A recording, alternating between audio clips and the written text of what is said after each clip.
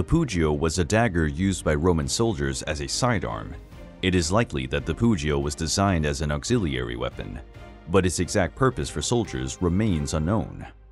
The Roman Pugio was a double-bladed dagger, whose blade was leaf-shaped and longer than 20 centimeters. The Romans started using the Pugio after the Celtiberian Wars, which took place in the Iberian Peninsula in the 3rd and 2nd centuries BC. Due to the detailed ornamentation on the scabbards and handles, some think that the Pugio's purpose was solely symbolic. In other words, it was an element of the soldier's prestige and status. The Pugio was part of the several conspiracies in the empire's history.